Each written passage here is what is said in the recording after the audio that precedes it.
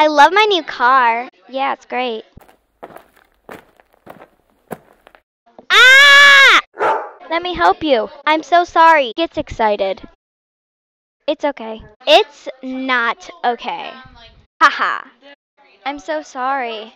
Maybe you should go back to the car. Gladly. It's okay. We're just glad Una's okay. We were on our daily bike ride. Then Una went a little too fast. We started to worry and we jumped off our bike. Una really likes milkshakes. Then we heard a screech.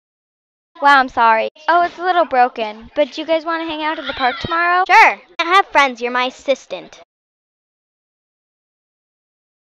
Hi, Julia. Hi, Lily and Rose.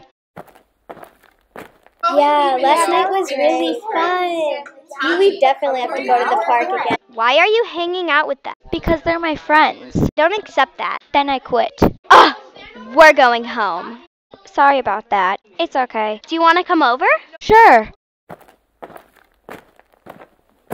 Aww. I'm really glad we became friends. Me too.